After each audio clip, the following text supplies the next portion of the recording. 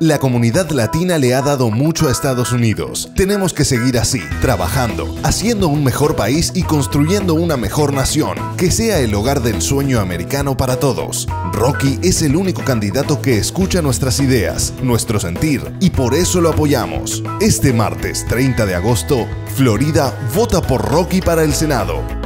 Soy Rocky, Roque de la Fuente, y apruebo este mensaje. Rocky2016.com